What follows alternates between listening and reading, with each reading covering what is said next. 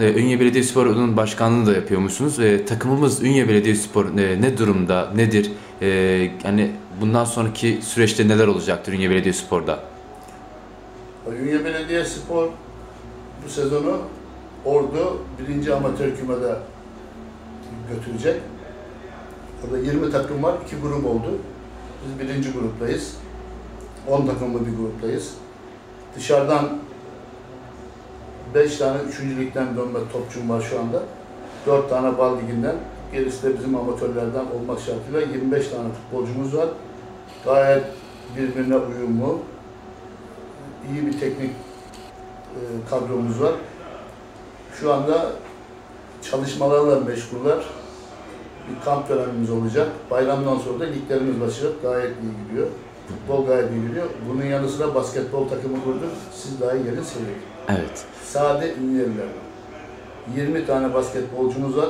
17 tanesi Ünyeli. Bir kuruş para vermeden amatörlüğün tam ruhunu yaşayabileceğimiz bir ekip.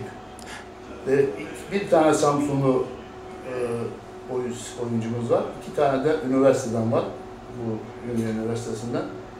Üç tane yabancımız var. Onlar da aynı Ünyelilerden daha sıkı sarıldılar işe.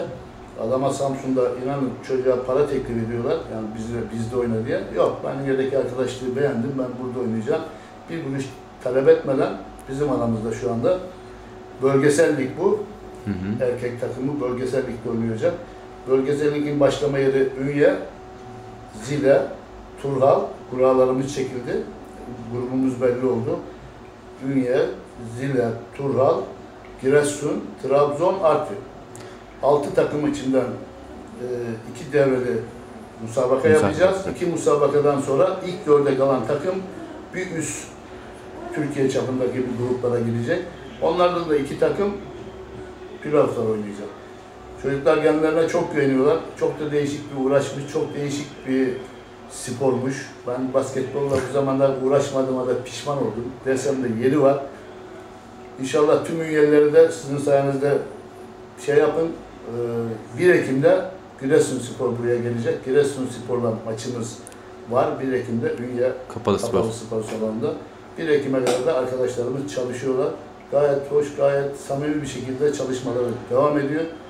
İnşallah Allah utandırmaz. Basketbol Ünye'de kitleleri de sevindirir. O zaman şöyle yapacağız. E, amatörden alıp da daha yukarılara taşıyacağız. Artık hem Ünye Spor için. He, Ünye Spor için ekstradan basketbol için de aynı şekilde Evet, e, evet. artık amatörden çıkartıp yukarı doğru taşımayı düşünüyorsunuz. Evet, bu uğraşlar içinde e, bizlere çok destek veren belediye başkanımıza ve ekibine çok teşekkür ediyorum. Ayrıca bizim üzerimizde gölgesi hiç kalkmayan Sayın Kaymakamımıza da sizden de teşekkür ediyorum. Biz çok teşekkür ederiz başkanım. Ayrı gün.